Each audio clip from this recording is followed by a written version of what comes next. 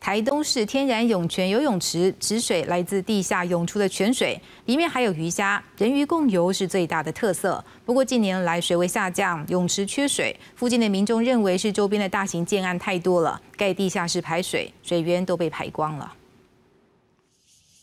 前年七月，台东市天然涌泉游泳池就曾经发生水位大下降，当时水位还有十公分左右。两年后的现在，同样是七月，池里几乎快要没水，池中的鱼类被迫在仅有的水中活动。游泳池虽然还是在开放期间，但不能游泳。附近居民怀疑是这几年周边新建好几栋大楼建案，相连的水脉被大量排走有关。特别是在地下室的开挖，它需要做这样的一个。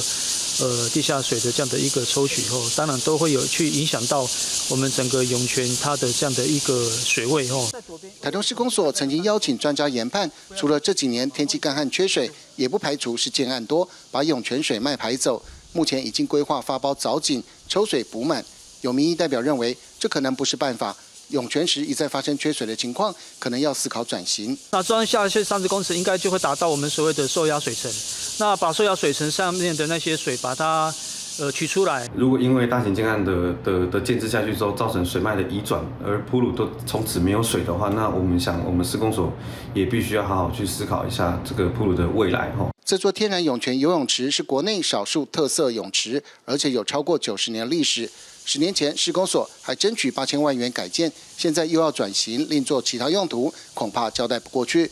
不过，施工所乐观评估，等周边建案完成地下室新建工程，水脉就会回来。记者张明哲台东报道。